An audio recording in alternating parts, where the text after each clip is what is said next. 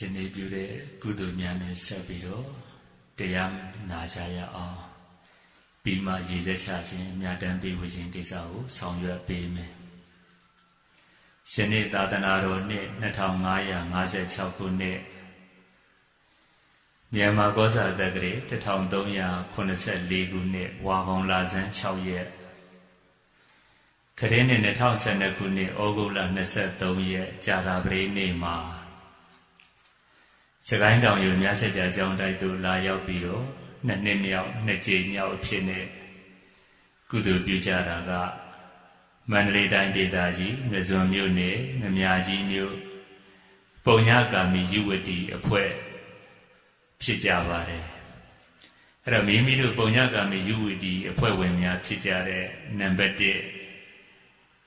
ဒေါခင်တဲ့သမီးမာတန်တန်ချူ နံပါတ်2ဒေါ်မြသိန်းသမီးမာအေးအေးထွေးနံပါတ်3ဦးကျော်အောင်ဒေါ်သက်သမီးမာဝင်းဝင်းကျော်နံပါတ်4ဦးငိမ့်ဒေါ်စိန်သမီးမာအေးယူခိုင်နံပါတ်5ဥပေါ်တင်ဒေါခင်တွေသမီးမလဲလဲနိုင်နံပါတ်6ဒေါ်သိန်းပြည့်သမီးမရင်ရင်စံနံပါတ်9ဒေါ်ထွေးတင်တူမမခင်မျိုးဝေ နံပါတ်10ဦးတင်ဆွေဒေါ်စန်းတွေသမီးမငိမ့်ဤဖြူနံပါတ်9ဒူရဲအုပ်ဦးကျော်စီရဒေါ်အေးအေးမူနံပါတ်10ဒေါ်တန်တန်မြညီမဒေါ်တန်တန်လှနံပါတ်7မလွင်လွင်အောင်ညီမမငင်ငယ်အောင်နံပါတ်12ဦးစမ်းမောင်ဒေါ်လာကျွဲနံပါတ်13ကိုမင်းတန်းဦးမခင်ပြုံးကြီး နံပါတ်14ကိုခင်ကိုခင်စောမခိုင်ခိုင်ဦးနံပါတ်15ကိုကလာမခင်လေးဆွေနံပါတ်16ကိုအောင်အောင်မမြစန်းကျူအဲ့တော့ဒီလိုအဖွဲ့ဝင်များဖြစ်ကြတဲ့ပုံညကာမီယူဝတီအဖွဲ့သူဖွဲ့သားများက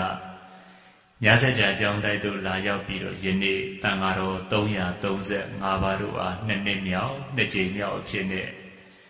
အာယုံခါမှာအာယုံစွမ်းများဆက်ကလူတန်းခြင်းနေ့လည်ခါမှာလည်းပဲ335ပါးတို့အားနေစွမ်းများဆက်ကလူတန်းခြင်းညနေခါမှာလည်းပဲတန်ဃာတော်335ပါးတို့အားဖြိုရည်ဆေးပစ္စည်းများလှူဒန်းခြင်းဆိုပြီးတော့တနေ့တာအတွက်တာဝန်ယူပြီးတော့ကုသိုလ်ကောင်းမှုများကိုပြုလုပ်ခြင်းထိုမှတပါနာယကနုနာယက ခဏဝဇကစာကြ24ပါးတို့အားတပါးတပါးလင်9000ကျက်တန်9000ကျက်တန်အဆက်တော်ပစ္စည်းများကိုလှူဒန်းကြခြင်းဆရာကြီးဖွားပုံညာဝရီအားလည်းပဲ9000ကျက်လှူဒန်းကြခြင်းထိုမှတပါပညာရေးပရိသာပင်ဖြစ်9000ကျက်ဆေးပရိသာပင်ဖြစ်9000ကျက်ရေမီးပရိသာပင်ဖြစ်3000ကျက်စုပေါင်းပြီးတော့ပရိသာပင်များစိုက်ထူလူဒန်းကြခြင်း ဓမ္မပူဇာအဖြစ်ဝါဆိုသင်္ကန်းတွေ့ဆုံတစုံနဲ့တသိန်းကျက်တန်အဆက်တော်ပစ္စည်းများလူဒန်းခြင်းတရားကုသိုလ်ရှင်များဖြစ်ကြတဲ့ငမြကြီးမြို့အခြေခံရဲ့ဥကျော်အောင်တော်သက်မိသားစုကဆွမ်းပရိသာပင်9000ကျက်လူတန်းခြင်းကိုခင်စောမခိုင်တိုင်ဦးမိသားစုကရေမီးပရိသာပင်ဖြစ်9000ကျက်လူတန်းခြင်းဆိုပြီးတော့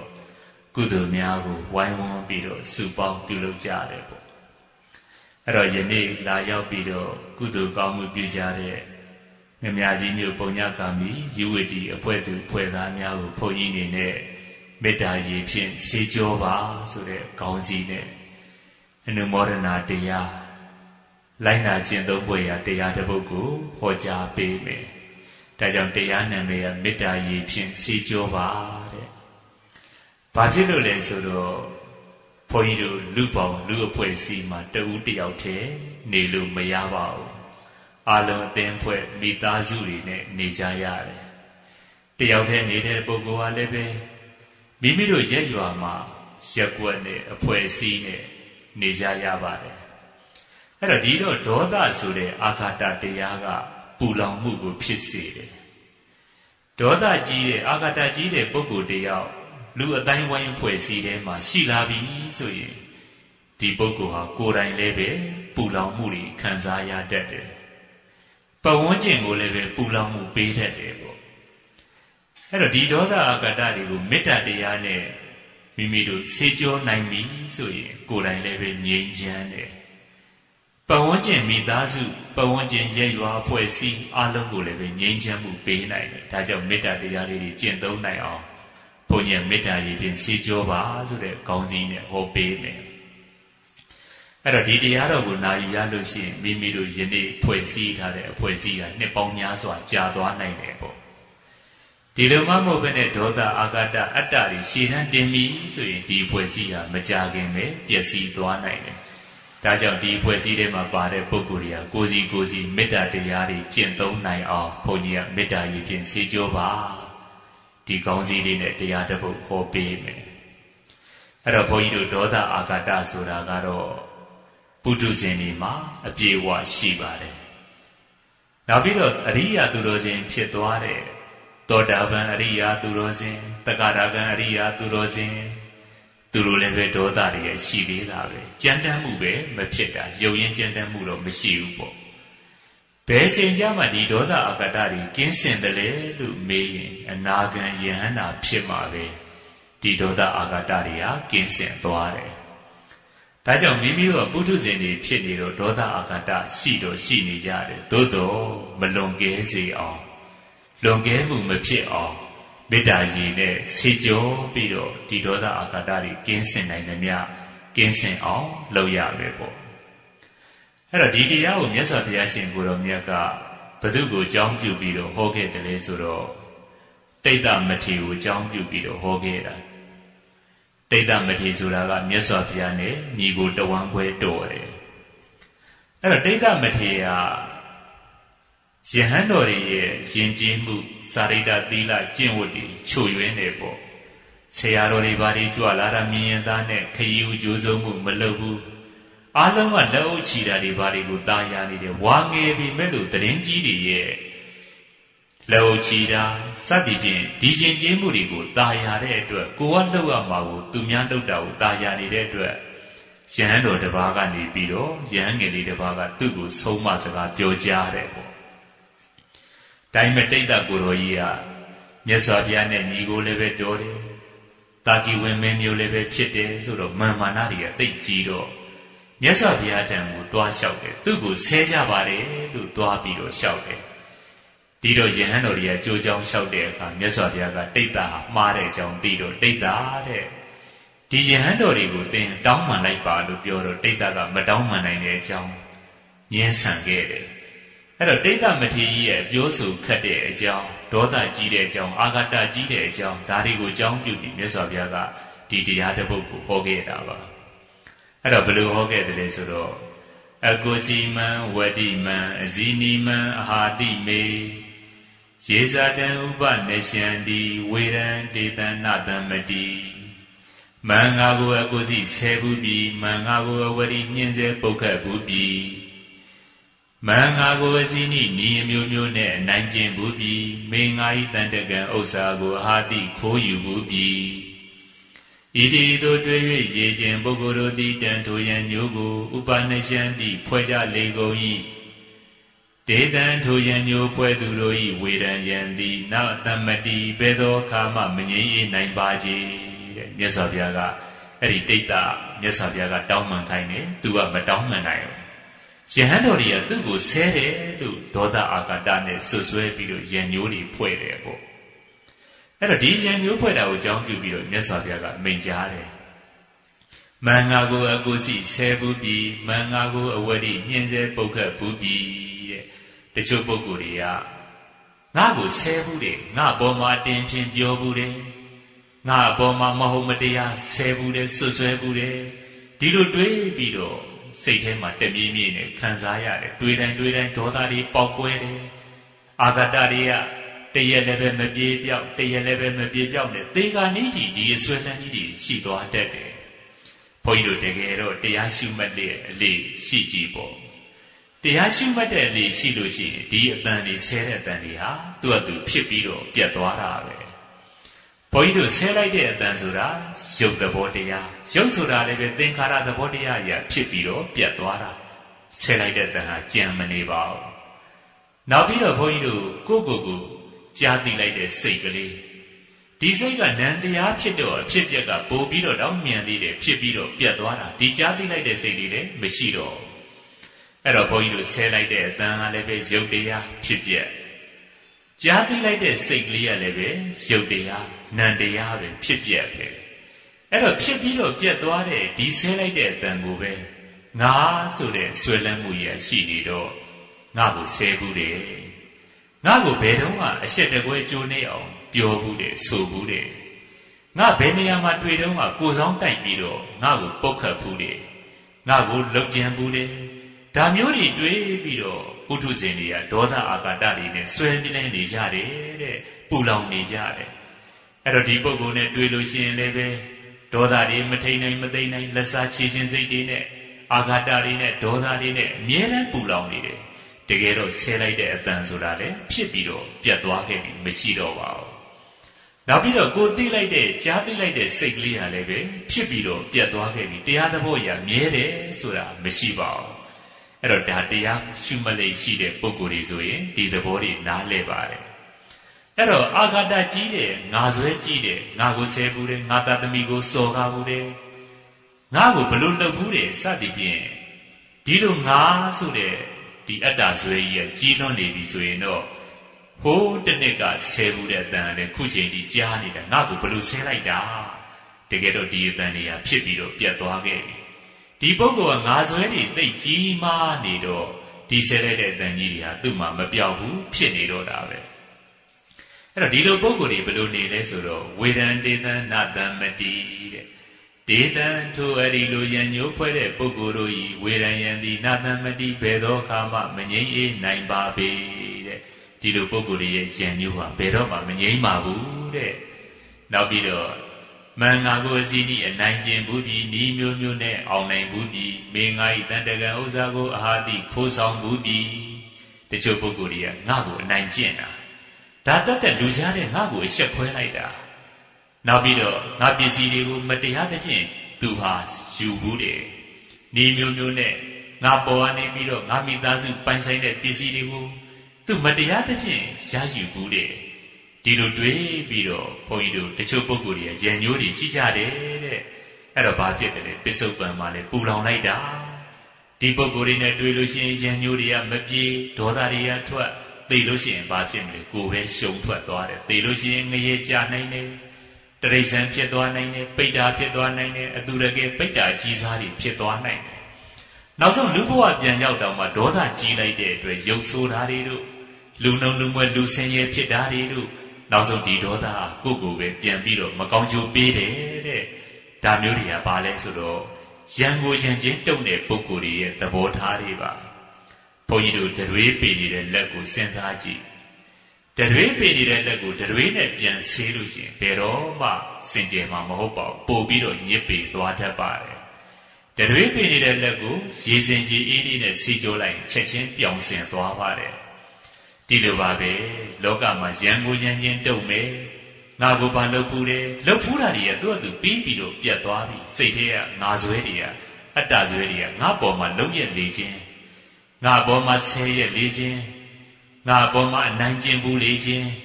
ငါပေါ်မှာငါပစ္စည်းတွေကိုယူရက်လေခြင်းအင်မတန်ချစ်ခင်ကြတဲ့အင်မတန်မှမြင်လို့ကြတဲ့မောင်နှမချင်းချင်းတောင်မှတန်ဖိုးမရှိတဲ့ဒီလိုပစ္စည်းပစ္စည်းတွေကိုကြောင်းပြပြီးတော့ဆဲကြတက်ကြတန်ဖိုးရှိတဲ့မေတ္တာတရားတွေပြက်ပြားနိုင်တယ်တဲ့ဒါတွေကတန်ត្រာနဲ့ကြည့်လို့ရှိရင်အင်မတန်ကြောက်စရာကောင်းပါတယ်ဒါကြောင့်မြတ်စွာဘုရားကတိတ်တမထေကိုဒီလိုရံညိုးဖွဲ့ပြီးတော့ငါဆွဲကြည့်တဲ့ပုဂ္ဂိုလ် ငါဘောမှာဘာလုပ်ဘူးတဲ့ငါငါငါဆိုတဲ့ဒီငါဆိုတဲ့စက်ဝိုင်းကြီးတွေကနေမလွတ်မြောက်နိုင်တဲ့ပုဂ္ဂိုလ်တွေဟာဒေါသအာဃာတတွေကြီးပြီးတော့ရံလည်းပဲတယောက်ကနိုင်လိုက်နိုင်တဲ့လူကဆော်လိုက်နောက်တယောက်ကပြန်နိုင်တဲ့အခါကျဖွင့်ရရရင်ပြန်ပြီးတော့တိုက်ခိုက်လိုက်ဒီလိုနဲ့တန်တရာကြီးတွေမှာကျင်လေသွားတတ်ပါတယ်တဲ့ဒါတတွေးပေနေတဲ့လက်ကိုတတွေးနဲ့ပြန်စီးတာနဲ့တူပါတယ်ဘယ်တော့မှစင်ကြယ်မှာမဟုတ်ပါဘူးပို့ပြီးတော့ညစ်ပတ်တယ်တဲ့ အဲ့တော့ဘာလုပ်ရမလဲဆိုတော့တတွေးပေနေတဲ့လက်ကိုရေစင်ရေအေးနဲ့ဆေးကြောရပါတယ်အဲ့တော့မြတ်စွာဘုရားကဒုတိယကာလဆက်ဟောတယ်အကုစီမံဝရိမံအဇီနီမံအဟာတိမေရေဇာတံနုပနယံတိဝေရံတေတုပတမ္မတိမန်ငါကိုအကုစီဆဲဘူးပြီမန်ငါကိုအဝရီညင်းစေပုဂ္ဂဘူးပြီ မန်ငါကိုအစင်းဤအောင်နိုင်ဘူးပြီအနိုင်ကျင်ဘူးပြီမင်းငါဤတန်တကဥစ္စာကိုအာတိဤအမျိုးမျိုးနဲ့ခိုးယူဘူးပြီဤဒီလိုတွေ့၍ရေခြင်းပုဂ္ဂိုလ်တို့သည်တန်တိုရန်ညိုကိုနုပနိရှန္တိမဖွဲ့ကြလေကိုဒေတံထိုရန်ညိုမဖွဲ့သူတို့၌ဥပ္ပန္နံဖြစ်သောဝေဒံယံသည်ဥပါတမတ္တိငြိမ်းရနိုင်ပါပေ၏ဤတိသို့ဘဂဝါသုံးလောကတို့သာရှင်တော်မြတ်ဖျားသည် ဤမာဂါဓာဤဂါဓာတော်တို့ကိုအာဟကရုဏာရှိသောပညာအားဖြင့်ဟောကြားတော်မူခဲ့ပါပေတည်း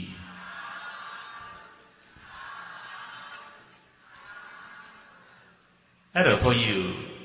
ဒီလိုသဘောတရားလေးတွေကိုတရွေပင်နေရင်ရေစင်ကြီးအေးနဲ့ဆေးကြောမှတန့်ရှင်းစင်ကြယ်တာလို့ဒီလိုသဘောလေးကိုနားလည်ရပါတယ်ကဲအလုံးလိုက်ဆိုလိုက် တရွေပေရာရေဖြင့်သာ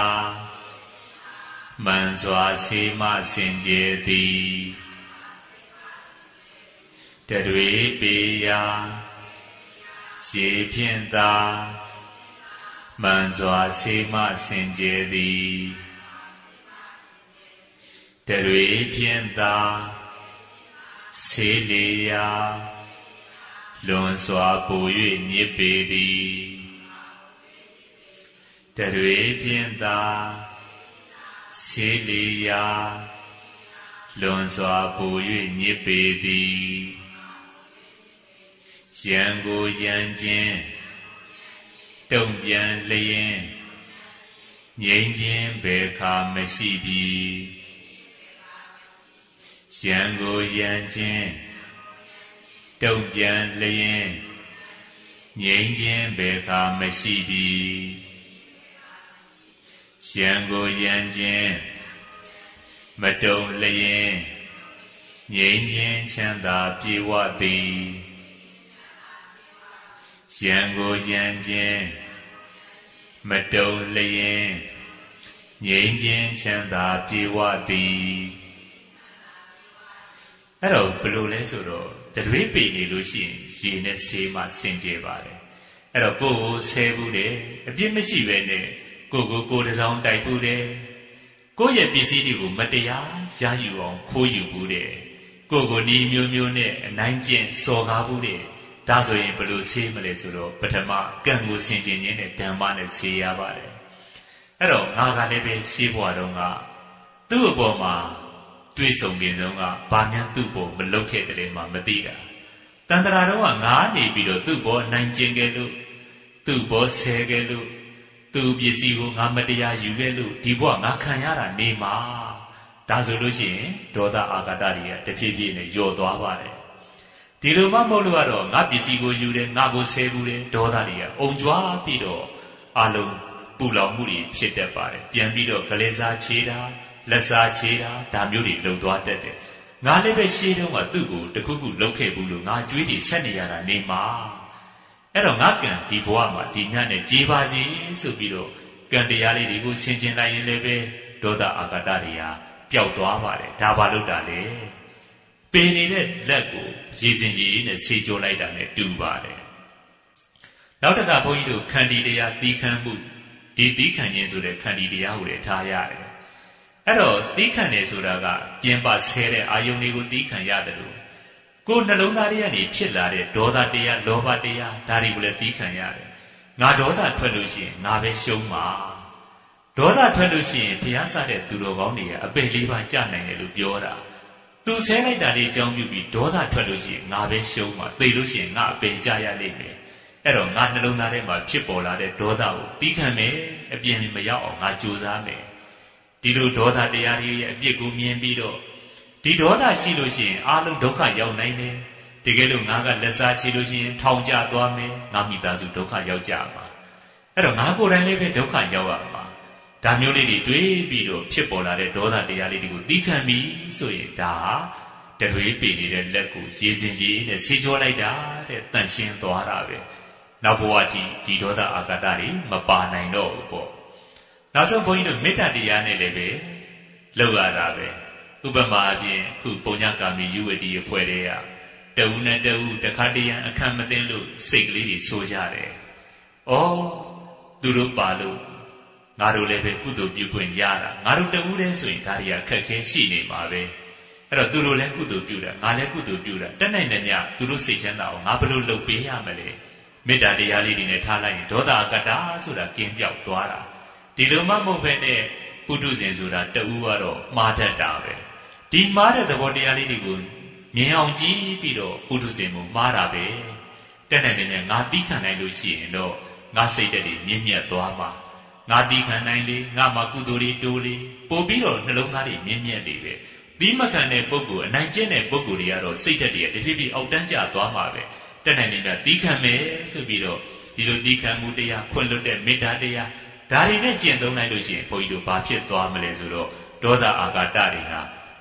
တတွေးပေနေတဲ့လက်ကိုရေစင်ကြီးနဲ့ဆေးကြောလိုက်တယ်လို့တန်ရှင်းစင်ကြယ်သွားတယ်တဲ့နောက်ဘဝတိအာဂတရံညိုးတွေကမပါတော့ပါဘူးဒီလိုမှမဟုတ်ဘဲနဲ့ဘုန်းကြီးတို့ဒီလိုစိတ်ကဒေါသအာဂတတွေဖြစ်နေပြီးတော့ရံညိုးတွေရှိတယ်ဆိုရင်သေပြီးလို့နောက်ဘဝရောက်တယ်နောက်ဘဝရောက်လို့မောင်နှမချင်းချင်းအရင်ချာတွေဖြစ်တတ်တော့မှဒီလိုရံညိုးရံစားတွေပါလာခဲ့ မောင်နှမချင်းချင်းစကားမပြောနိုင်တာတို့ညီမချင်းချင်းစကားမပြောနိုင်တာတို့တဦးနဲ့တဦးမခေါ်နိုင်မပြောနိုင်နဲ့လမ်းတွေ့လို့ရှိရင်တဦးနဲ့တူကုသိုလ်တွေမဖြစ်ဘဲနဲ့အကုသိုလ်တွေဖြစ်တယ်ဆိုတာအဲ့ဒါအဆက်ဆက်ဘဝတွေကဒေါသအာဃာတတွေပါလာလို့ပါဒါကြောင့်မို့ဒီဒေါသအာဃာတတွေကိုဒီဘဝမှာပဲငြိမ်းအောင်မိမိတို့ဖြည့်ရှင်းနိုင်ရမယ်ဆေးကြောနိုင်ရမယ်တဲ့ကဲဒါလေးတစ်ခေါက်ပြန်ဆိုတတွေပေယာရေဖြင့်သာ မှန်စွာဆေးမစင်ကြယ်သည်တတွေဖြင့်သာဆေးလီယာလွန်စွာပူ၍ညစ်ပေသည်ရန်ကိုရန်ခြင်းတုံ့ပြန်လျင်ငြိမ်းခြင်းဘေခါမရှိသည်ရန်ကိုရန်ခြင်းမတုံလျင် ငြိမ်းခြင်းချမ်းသာပြေဝသည်အဲ့တော့တဦးနဲ့တဦးမေတ္တာတရားလေးနဲ့ကောင်းဘက်ကိုရှာပြီးတော့ဖွင့်လို့ပေးရပါတယ်အဲ့တော့မိမိတို့အဖွဲ့စီခုနှစ်နှစ်ရှိသွားပြီအဲ့တော့ရေရှည်တည်တန်းကျင်ပါတယ်ဆိုရင်အပြစ်ကြီးမကြည့်နဲ့ကောင်းဘက်လေးတွေမေတ္တာတရားနဲ့ရှာကြည့်ရတယ်သူကဒီနေရာမှာအပြစ်ရှိတယ်ဆိုရင်ဩဘယ်ဘက်မှာတော့သူကောင်းရှာပါတယ်ဘယ်နေရာမှာတော့သူကဥဆောင်ပြီးတော့လှုပ်ရှာတယ်သဘောထားကကောင်းပါတယ် ဒါမျိုးလေးတွေကောင်းကွက်ရှာပြီးတော့ကြည့်လို့ရှိရင်ပေနေတဲ့တွေကိုရည်စင်ရည်နဲ့ဆေးလိုက်တဲ့လူဖြစ်သွားတယ်တဲ့ဒီလိုမှမဟုတ်ဘဲနဲ့တဦးနဲ့တဦးဘုန်းကြီးတို့အပြစ်တွေမြင်နေကြမယ်ဆိုရင်ဒါတရွေးပေနေတဲ့လက်ကိုတရွေးနဲ့ဆေးတာနဲ့တူတယ်တဲ့ဘယ်တော့မှမစင်ကြယ်ပါဘူးပို့ပြီးတော့ရစ်ပေသွားပါတယ်အဲ့တော့ဘုန်းကြီးတို့ဒါနဲ့ဆက်ပြီးတော့ဘုန်းကြီးနည်းနည်းလေးပြောပြခြင်းတယ်ဘုန်းကြီးတို့ဖျားရှင်တဲ့ရှင်ဒေဝရက်ဆိုတာကပ္ပယံကြီးဖြစ်ခဲ့ကြရတာ အဲ့တော့ရှင်ဒေဝရရဲ့လမ်းစဉ်ကဘာလဲဆိုတော့ရံကိုရံချင်းတုံပဲမဟုတ်မကန်စိတ်ထားရှိတယ်တခါတည်းရံမဟုတ်တာဘူးပဲရံလိုသဘောထားပြီးတော့တုတ်ပြန်တတ်တာဒါရှင်ဒေဝရရဲ့လမ်းစဉ်ပါမြတ်စွာဘုရားရဲ့လမ်းစဉ်ကတော့ဘာလဲဆိုတော့ဒီခံနဲ့ခွင့်လွတ်တယ်ရံသူဖြစ်ဖြစ်စီတက်နိုင်တယ်များအကျိုးတရားကိုလိုလားပြီးတော့ကောင်းကျိုးလိုလားမှုစိတ်တဲ့နဲ့သူ့ရဲ့ကောင်းကျိုးကိုပဲဆောင်ရွက်ပေးတယ်အဲ့တော့တရွေးပိနေတဲ့လက်ကိုရည်စင်ကြည်အေးနဲ့ဆေးကြောတဲ့ဝါဒ ဖရာရှင်ရဲ့ဝါဒတရွေပေးနေတာကိုတရွေနဲ့ပြန်စီးတယ်ဒီတဲ့ညစ်ပတ်တဲ့မစင်ကျင်ကြီးနဲ့ပြန်စီးတယ်ဆိုတာအရှင်ဒေဝရရဲ့ဝါဒဒါလေးတွေကိုဘုန်းကြီးတို့သိထားရတယ်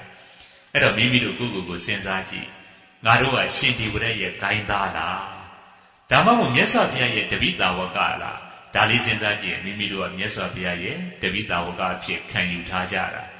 အဲ့တော့မြတ်စွာဘုရားဘယ်လမ်းစဉ်ကိုကျင့်သုံးခဲ့တယ်လဲဒါလေးသိဖို့လိုအပ်တယ် မြတ်စွာဘုရားကျင့်သုံးခဲ့တဲ့လမ်းစဉ်ကတရွေးပင်နေရင်ရေစင်ရေအေးနဲ့ဆေးကြောတယ်လို့ပဲရန်ကိုရန်ချင်းမတုံလျင်ပဲနဲ့ရန်ကိုမေတ္တာတရားစတဲ့ဓမ္မတွေနဲ့ဆေးကြောတယ်တဲ့တန်ရှင်းအောင်လုပ်တယ်ဒါမြတ်စွာဘုရားရဲ့ဝါဒအရှင်ဒေဝရရဲ့ဝါဒကတော့တရွေးပင်နေရင်တရွေးနဲ့ပြန်ဆေးမယ်ဒီတဲ့ညစ်ပတ်တဲ့မစင်ချင်းကြီးနဲ့ပြန်ဆေးမယ်နောက်ပြီးတော့ရန်ကိုရန်ချင်းတုံမယ် ရံမရှိတာကိုပဲရံရှာပြီးတော့တုံပြန်မယ်မဟုတ်မကန်စိတ်တဲ့မွေးမယ်ဒါကအရှင်ဒီဝရရဲ့ဝါဒတဲ့အဲ့တော့ရှင်ဒီဝရကသူ့ရဲ့လမ်းစဉ်ကိုရှောက်ရင်ရှင်ဒီဝရဘယ်ရောက်တယ်အဝီစီငရဲ့ရောက်သွားရပါတယ်ဒါကြောင့်မဟုတ်မကန်စိတ်တဲ့ရန်ကိုရန်ချင်းတုံတဲ့ဝါဒဒါအရှင်ဒေဝရရဲ့ဝါဒအရှင်ဒေဝရပယ်သွားတယ်အဝီစီငရေတိဒီလမ်းစဉ်တိုင်းလျှောက်သွားခဲ့တယ်ခုချိန်ဒီအရှင်ဒေဝရအဝီစီငရေမှာရှိနေခဲ့ပါတယ် နောက်ပြီးတော့မြတ်စွာဘုရားစတဲ့သူတော်ကောင်းတွေရဲ့လမ်းစဉ်ကတရွေပေနေရည်စင်ရေးတဲ့ဆေးမဲရန်ကိုရန်ချင်းမတုတ်ရန်သူကိုယ်တော်လည်းပဲမြတ်စွာဘုရားရှင်ရဲ့ဝါဒကအကောင်းဆုံးတုံ့ပြန်ပြီးတော့သူ့ဘောမှာကောင်းကျိုးလိုလားတဲ့စိတ်နဲ့ကောင်းကျိုးတွေဆောင်ရွက်ပေးမယ်တဲ့မေတ္တာနဲ့တုံ့ပြန်တာဒါမြတ်စွာဘုရားရှင်ရဲ့ဝါဒအဲ့တော့မြတ်စွာဘုရားရှင်စတဲ့သူတော်ကောင်းတွေဟာဒီလမ်းစဉ်ကိုရှောက်လန်းပြီးတော့ခုဘယ်ရောက်သွားပြီလေနိဗ္ဗာန်ချမ်းသာကိုခံစားသွားကြ ဒါကြောင့်မြတ်စွာဘုရားရဲ့လမ်းစဉ်ကနိဗ္ဗာန်မှာလမ်းဆုံးပါတယ်အရှင်ဒီဝရရဲ့လမ်းစဉ်ကအဝီစီငရဲမှာလမ်းဆုံးနေတဲ့အဲ့တော့မိမိတို့ကိုယ်ကိုပြန်ပြီးတော့စဉ်းစားကြည့်ငါတို့ကရှင်ဒီဝရရဲ့တပိတာဝကတွေလားမြတ်စွာဘုရားရဲ့တပိတာဝကတွေလားဒါလေးကိုစဉ်းစားကြည့်ကြပါတယ်စဉ်းစားပြီးတော့မြတ်စွာဘုရားရဲ့တပိတာဝကဆိုရင်မြတ်စွာဘုရားဘာလန်းစဉ်ကျင့်သုံးခဲ့တယ်လေဒါလေးကိုဘုန်းကြီးနည်းနည်းလေးပြောပြပေးဦးမယ်ပေါ့ ဘုန်းကြီးတို့ဘုရားရှင်တဲ့ရှင်ဒေဝရဟာကပ္ပယံနေဖြစ်ခဲ့တယ်ဘုရားဖြစ်တော်လည်းပဲတကယ်ယံနေပဲဖြစ်ခဲ့တယ်ဘုရားရှင်ကတော့ယံချင်းမတုံပါဘူးအရှင်ဒေဝရကတော့ယံနဲ့တုံပြန်တယ်မြတ်စွာဘုရားပုံမှာယံမရှိဘဲနဲ့ယံရှာခဲ့တယ်အဲ့တော့ဒီလိုကပ္ပယံကြီးဖြစ်ရတာဘာဖြစ်လို့လဲဆိုတော့ဒါလေးဟာသိတင်သိထိုက်တယ်သင်္ကန်းယူစရာသင်္ကန်းစာယူစရာကောင်းတယ်ပေါ့တန်ဖိုးမရှိတဲ့ငွေကြီး ဒီငွေကြီးကိုအကြောင်းပြုပြီးတော့ရှင်ဒေဝရကမြတ်စွာဘုရားပုံမှာယံမျိုးဖွဲ့ခဲ့တာပါအဲ့တော့ဘယ်ပကဘာကနေစပြီးတော့ဖွဲ့ခဲ့တယ်လဲဆိုတော့ခုယနေ့အလုံးတော့ဆုံးကတဲ့တရားဓမ္မတွေမိမိတို့ဒီနေထိုင်တဲ့ကဘာကြီးကိုဗဒ္ဓကဘာလို့ခေါ်တယ်အကောင်းဆုံးကဘာတဲ့ဗမာလိုပြန်ရင်တော့ဘာဖြစ်လို့အကောင်းဆုံးကဘာတော့ဆိုတော့ဖះ၅စုပွင့်တဲ့ကဘာမို့လို့ခု၄စုပွင့်ပြီးပြီအရိမိတ်တရားဖះရှင်တစုပွင့်ဖို့ကြံသေးတယ်အကောင်းဆုံးကဘာပေါ့ အဲ့တော့ဒီကဘာနေပြီးတော့ပြန်၍ရေတွက်ရင်နောက်ပြန်ပြန်ပြီးတော့တွက်ရင်ငါးကဘာမြောက်မှာအရှင်ဒေဝရနဲ့မြတ်စွာဘုရားရှင်အလောင်းတော်နဲ့အရှင်ဒေဝရလောင်းမှာရံညိုးတွေဖွဲ့ခဲ့ကြတာဒီကဘာနေပြန်၍ရေတွက်ရင်ငါးကဘာမြောက်မှာဖြစ်ခဲ့ကြတာအဲ့တော့ဘယ်ဘဝလဲလို့မေးရင်ဘုန်းကြီးတို့ရွဲကုန်တဲ့ဘဝရွှေမန်းတင်မောင်ကပြတဲ့ရွဲကုန်တဲ့ဇက်ဆိုတာအဲ့ဒါဘုရားလောင်းနဲ့ရှင်ဒေဝရလောင်းတို့ရဲ့ပထမဆုံးရံညိုးဖွဲ့ခဲ့တဲ့အကြောင်းလေးတွေဖော်ပြတဲ့ဇက်တော်ပါ အဲ့တော့အဲ့ဒီလွန်ခဲ့တဲ့၅ကဘာလောက်ကရှင်ဒေဝရလောင်းနဲ့ဖျားရှင်လောင်းဟာရွဲကုန်တယ်ဖြစ်ကြတယ်ရွဲဆိုတာကဘုန်းကြီးတို့အလှစီပစ္စည်းလေးတွေခုခေတ်ဆိုရင်ဖန်စီပစ္စည်းလေးတို့လဲပင်မှာဆွဲတဲ့တန်းစားတို့နားမှာဆွဲတာတွေတို့လက်ကောက်ကလေးတို့ဖန်စီပစ္စည်းသဘောမျိုးလေးအလှရှင်ပစ္စည်းလေးတွေရွဲလေးတွေရောင်းကြတယ်ပေါ့အဲ့တော့ရှင်ဒေဝရကသေရိဝတိုင်းကသူ့ရဲ့နာမည်ကလည်းပဲသေရိဝတဲ့ရွဲကုန်တဲ့ရဲ့နာမည် တနေ့တော့သူတို့ကမိတ်ဆွေတွေဆိုတော့အရှင်ဒေဝရလောင်းသေရိဝရွဲကုန်တဲ့နဲ့ဖရာလောင်းရွဲကုန်တဲ့ဟာနီလဝါဟဆိုတဲ့မြေကြီးကိုလှေနဲ့ကူးကြတယ်လှေနဲ့ကူးပြီးတော့အရိဋ္ဌပူရမြို့ရောက်တဲ့အခါမှာရွဲချောင်းကြမယ်ဆိုပြီးတော့သူတို့စီစဉ်ပြီးတော့အရိဋ္ဌပူရမြို့ကိုလာကြတယ်ပေါ့လာကြတော့သူတို့ရဲ့ကတိကဝကဘာလဲဆိုတော့တယောက်ဝင်နေတဲ့လမ်းကိုနောက်တစ်ယောက်ကမဝင်ကြတယောက်ပြီးသွားမှတယောက်ဝင်ရမယ်ဆိုပြီးဂရီထားပြီးတော့ ပထမဆုံးလမ်းကိုဝင်တာကရှင်ဒေဝရလောင်းဖြစ်တဲ့သေရိဝရွဲကုန်တဲ့ကရွယ်တွေထမ်းပြီးတော့အဲ့ဒီလမ်းကိုစဝင်တယ်ဒီတော့ဖះလောင်းကမဝင်သေးဘူးပေါ့အဲ့တော့ရွဲစုကြအောင်မလားဆိုပြီးတော့မြို့တဲ့အရိဋ္ဌပူရမြို့တဲ့ကိုလှည့်ပြီးတော့ရောင်းတော့အိမ်တရင်ရှိရောက်သွားတယ်အဲ့ဒီအိမ်ကလည်းပဲအထည်ကြီးပြက်လို့ပြောရမှာပေါ့ဖြစ်စကားနဲ့ပြောရင်တော့ရှင်းတော့ကအင်မတန်ချမ်းသာခဲ့တဲ့အမျိုးဒါပေမဲ့ဆွေမျိုးတွေလည်းပဲတေးကြီးပျက်စီးကြ စီးပွားရေးတွေလည်းပဲတဖြည်းဖြည်းနဲ့ဆုံးယုတ်အဲ့တော့မြေဖွားနှစ်ယောက်ပဲကြံနေခဲ့တယ်ဆွေမျိုးတွေကလည်းအလုံးယောဂါတန်နေနဲ့ရှေးတုန်းကလိုပရိယောဂသဘောမျိုးတွေနဲ့ဖြစ်မှာပေါ့တေးကြီးပျက်စီးကုန်ကြတယ်အဲ့တော့အဖွားရဲ့မြေမလေးတယောက်ရဲ့ဒီနှစ်ယောက်ပဲဒီအိမ်မှာကြံခဲ့တော့တယ်ရှေးတုန်းကချမ်းသာတဲ့မျိုးရိုးကြီးကခုချိန်တော့တိမ်ကောလို့အဲ့တော့သူတို့မှာဘာလို့စားကြတယ်ဆိုတော့သူများရဲ့အိမ်မှာတနေ့လုံးမှာတနေ့စားရတဲ့ဘဝပေါ့ အဲ့တော့ရွဲကုန်တဲ့ရဲ့အတန်လည်းပဲကြားရောမြေးမှဖြစ်တဲ့ကလေးမလေးရဲ့ကလေးသဘာဝဒီရွဲလှပစ္စည်းလေးတွေလိုချင်လိုက်တာဝယ်ပေးပါလို့ပူဇာတော့အဖွားဖြစ်တဲ့သူကသမီးရဲ့မိရဲ့ဖွားတို့မှာဘာမှမရှိဘူးအင်မတန်ဆင်းရဲတာဘာပစ္စည်းနဲ့ပေးပြီးတော့ဝယ်ရမှာလဲမိမလေးကိုပြန်ပြီးတော့ပြောပြတယ်အဲ့တော့မိမလေးကအဖွားရဲ့ကျမတို့အိမ်ထဲမှာအိုးတွေကြားထဲမှာခွက်ကြီးတစ်လုံးတော့ရှိပါတယ် ဒီခွက်ကြီးကကျမတို့အတွက်ဘာမှလည်းမသုံးပါဘူးဒီခွက်ကြီးပေးပြီးတော့ရွယ်လေးမြန်ဒီနေနည်းနည်းပါးပါးရမလားမသိပါဘူးဝယ်ပေးပါဖွားရဲ့လို့ပူဇာတော့မြေလေးပူဇာတာနဲ့ဖွားပြတဲ့လူကရွယ်တယ်ကိုခေါ်ထိုင်ခိုင်းပြီးတော့အမောင်ရဲ့ဟောဒီခွက်ကြီးကိုယူလိုက်ပါမောင်နှမလေးရဲ့ရွယ်လိုခြင်းလို့တဲ့ပေးခြင်းတော့နည်းနည်းပါးပါးလေးပေးခဲ့ပါဒါမျိုးပြောပြီးတော့အဖွားဖြစ်တဲ့လူကရွယ်တယ်ကိုခွက်ကြီးပြလိုက်တယ်အဲ့တော့ရှင်ဒေဝရလောင်းတေရီဝရွယ်ကုန်တဲ့က ခွက်ကြီးကိုကြည့်ပြီးတော့ရွှေခွက်ကြီးမြန်ဖြစ်မလားဒါမျိုးတွေးလိုက်တယ်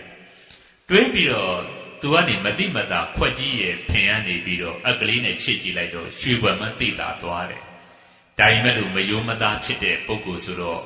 ဒီရွှေခွက်ကြီးကိုငါလက်ကားရအောင်လက်ကားနီးပါးလောက်ရအောင်ဘယ်လိုလုပ်ရမလဲဒါမျိုးတွေးပြီးတော့သူကခွက်ကြီးကိုတန်ဖိုးမရှိတဲ့ခွက်ကြီးလိုလိုနဲ့ခမရတို့ခွက်ကြီးအပြင်ပဲဝက်တောင်မှမတန်ပါဘူးတဲ့ ဘာတန်ကြီးရှိလို့လဲဆိုပြီးတော့မြေကြီးပေါ်ခွန်းဆိုပြီးတော့လွန့်ပြစ်လိုက်တယ်အဲ့တော့ဖွာပြစ်တဲ့လူကလည်းပဲကိုကပစ္စည်းရမရှိဆင်းရဲရဆင်းရဲဒီလိုဖွက်ကလေးကိုပြန်သိမ်းထားလိုက်တယ်ဘာမှမပြောလျှောက်မျက်နှာငယ်လေးတွေနဲ့ကြံနေခဲ့ကြရတယ်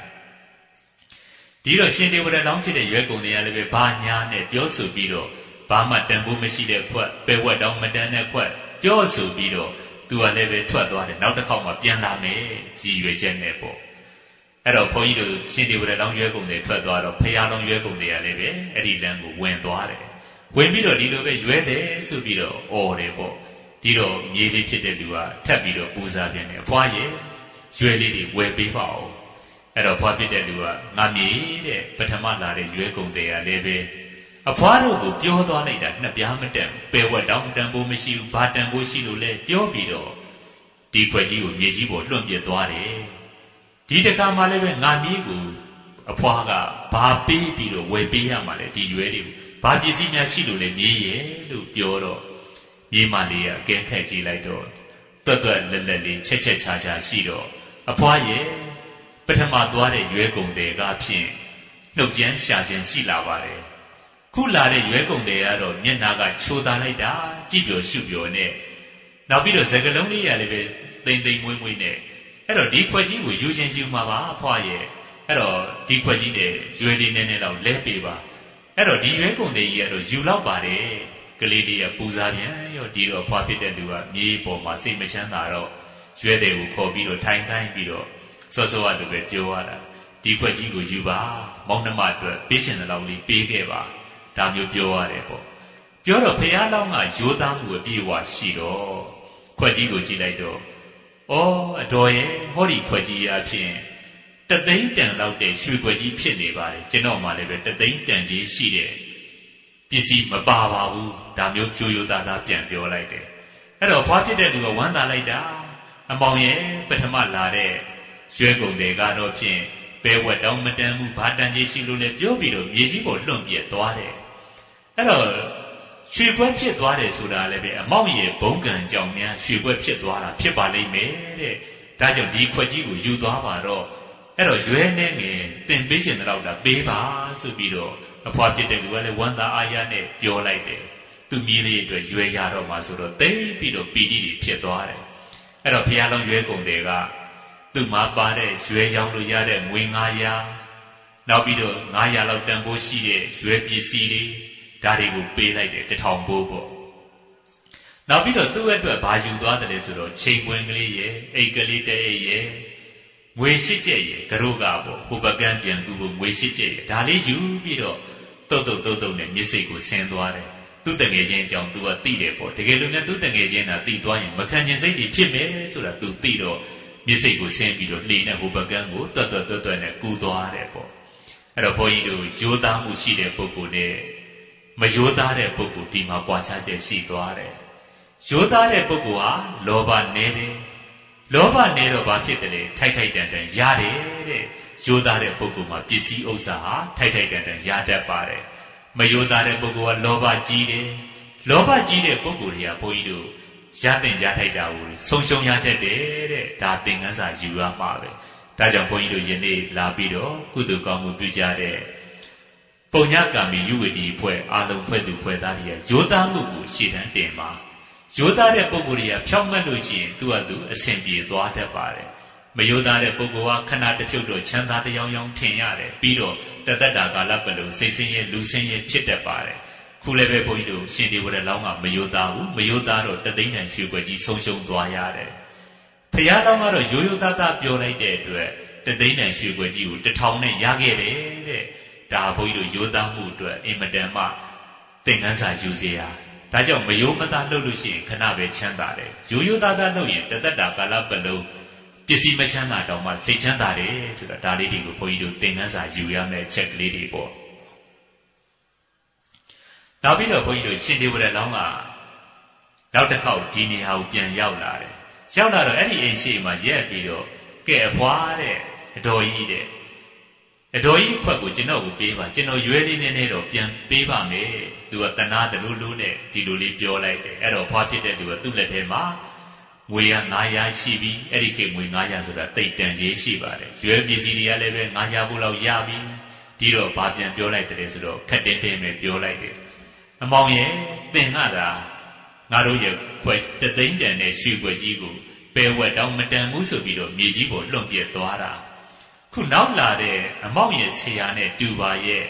အင်မတန်မှတရားမျှတတဲ့ဂုံတဲ့တယောက်ရောက်လာခဲ့တယ်။ तू ကတော့တထောင်ပေးပြီးတော့အဲ့ဒီရွှေခွက်ကြီးကိုယူသွားနေရဲ့လို့ပြောလိုက်တယ်။ပြောလိုက်တယ်ဆိုရင်ရှင်ဒီဝရက်မှာစိတ်တွေကဖောက်ပြားသွားပြီ။တောကတွေဒီရွှေခွက်ကြီးကိုလိုချင်တဲ့လောဘတရားလောဘမီဒီယာအင်မတန်မှမြှိုက်တယ်။နောက်ပြီးတော့သူ့ရဲ့တငယ်ချင်းဖြစ်တဲ့ပုဂ္ဂိုလ်လည်းပဲငါ့ပေါ်မှာလုံရက်နေခြင်း ဒီတသိန်းနဲ့ရွှေခွက်ကြီးငါ့ကိုဆုံးရှုံးသွားပြီငါဆုံးရှုံးသွားပြီငါဆုံးရှုံးအောင်ငါစီးပွားရေးပြက်အောင်လုပ်ရက်လေခြင်းအဲ့တော့ဒေါသတရားတွေအထွတ်ထိပ်ဒေါသမီဒီယာလောင်ပြီးဝမ်းနည်းမှုတောကမီဒီယာလည်းပဲလောင်ဒီတော့စိတ်တွေကြောင်ချောက်ချားဖြစ်သွားတယ်တတိလက်လို့ဖြစ်ပြီးတော့အယူတစ်ပိုင်းကြီးဖြစ်သွားပြီးတော့သူ့လက်ထဲမှာရှိတဲ့ငွေတွေရောရွယ်ပစ္စည်းတွေရောအိမ်ပေါက်မှာလွန့်ပြေးပြီးတော့ကျဲပြန့်ပြီးတော့ ချိန်ဝင်တစ်ခုကိုလက်နဲ့တပွဲကင်ပြီးတော့ဆောက်ပုတ်လက်နဲ့လိုပဲချိန်ဝင်ကြီးကိုကင်ပြီးတော့ဖះလောင်းတော့ပြေးလိုက်တော့တာပဲ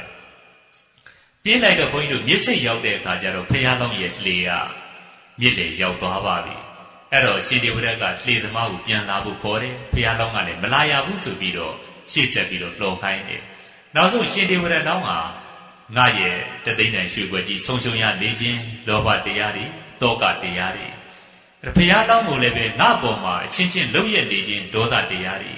ဝမ်းနည်းမှုငိုကြွေးမှုဘုန်းကြီးတို့ကိုယ်စင်ရဲမှုစိတ်စင်ရဲမှုမိပေါင်းစုံတွေလောင်လိုက်တာနှလုံးသားတွေပူလောင်ပြီးတော့ပါဇက်ကလည်းပဲသွေးတွေအန်တော့တာပဲနောက်ဆုံးမှာဘုန်းကြီးတို့ကျွညွန်ထဲမှာရှိနေတဲ့ညွန်တွေဟာရေကန်ထဲမှာရှိနေတဲ့ရေခမ်းသွားတဲ့ညွန်တွေကွဲသွားတယ်လို့ပဲအရှင်ဒေဝရရဲ့နှလုံးဟာအဲ့ဒီနေရာမှာကွဲပြီးတော့သေပွဲဝင်သွားခဲ့ရတယ်တဲ့ သေပွဲဝင်တဲ့အချိန်မှာဖရာလောင်းပေါ်မှာရှင်ညိုအာဃာတတွေဒီကောင်ငါ့ကိုလှုပ်ရက်လေခြင်းငါတသိန်းနဲ့ရွှေွယ်ကြီးဆုံးရှုံးရတာဒီကောင်ကြောင့်ဆိုပြီးတော့တငယ်ချင်းမပိသားတဲ့ပုံကိုဆိုပြီးတော့တကယ်တော့ကိုမယိုးသားလို့ကိုမရတာဖရာလောင်းကယိုးသားတဲ့အတွက်ပေးဆက်လိုက်တဲ့အတွက်ရသွားတာဒါမှမမြင်မင်းနဲ့ငါပေါ်မှာလှုပ်ရက်လေခြင်းဆိုတဲ့ဒေါသအာကာတနဲ့သေသွားခဲ့တယ်အဲ့တော့သူသေတဲ့အခါမှာဘုန်းကြီးတို့နောက်ဖြစ်တိုင်းဖြစ်တိုင်းယဉ်ညိုးဒေါသအာကာတစိတ်ကြီးကြံနေခဲ့တဲ့အတွက် ဖရာလောင်းနဲ့ဘယ်ဘဝမှာပဲတွေ့တွေ့ရှင်ဒီဝရဟာယံလုတ်တော့တာပဲနောက်ဆုံးဘုန်းကြီးတို့ကုံကုံပြောမယ်တရိစ္ဆာန်ဖြစ်လည်းပဲယံလုတ်တာပဲနောက်ဆုံးရှင်ဒီဝရကရှင်ပြန်ဖြစ်တယ်ဖရာလောင်းကသားတော်လေးဖြစ်တယ်အဲ့သားတော်လေးဖြစ်တဲ့ဖရာလောင်းကိုရှင်ဒီဝရလောင်းဖြစ်တဲ့ရှင်ပြန်ကတက်ပြည့်တဲ့ဘဝတွေအထိရှိခဲ့သွားပါတယ်ဒီလောက်ထိဒေါသအာကတတွေဖြစ်လာခဲ့တာအဲ့ဒီရွဲကုန်တဲ့ဘဝတုန်းကတသိန်းတန်ကြီးရှိတဲ့ရွှေဘွက်ကိုကြောင်းပြုပြီးတော့ဖြစ်တာတဲ့ ဒါကြောင့်ဘုန်းကြီးတို့အားလုံးတို့တရားဓမ္မတွေရံညိုးတွေကတိတ်ကြောက်စရာကောင်းပါတယ်ဒီရွှေဘွက်ဆိုတာဘုန်းကြီးတို့တန်ကြီးကြီးမားတာမှန်ပေမဲ့လို့တကယ်တော့မေတ္တာတရားပူတန်ဖို့ကြီးမားပါတယ်အဲ့တော့ဒီဒေါသကတရားကြောင့်ရှင်ဒီဝတဲ့ဟာငရေရောက်ပြရတဲ့ဘဝကြီးအများကြီးပဲအကုသိုလ်တွေကလည်းတိတ်ကြီးတယ်နောက်ဆုံးဘုန်းကြီးတို့ဖရာရှင်လောင်းကဖရာလာဖြစ်တယ်အရှင်ဒီဝတဲ့လောင်းကရှင်ဒီဝတဲ့လာဖြစ်တယ်ဆွေမျိုးကညီကိုတဝမ်းခွဲတော်တယ်တမီးရောက်ဖတ်တော်တယ်မြတ်စွာဘုရားရဲ့